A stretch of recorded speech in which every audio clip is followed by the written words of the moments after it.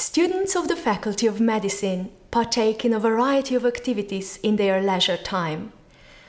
Without doubt, however, I can say that the majority of students devote that time to music. Many of them study with acclaimed professors, also at the Academy of Music. Our faculty boasts three large music groups the big band, the choir, and the guitar orchestra. Every autumn, we organize the renowned concert of medical students.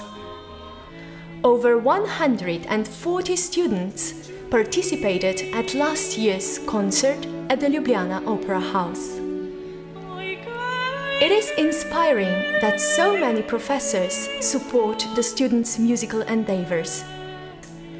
Because music is a soothing source of happiness and energy for studies, all the while it offers opportunity for socialization and networking.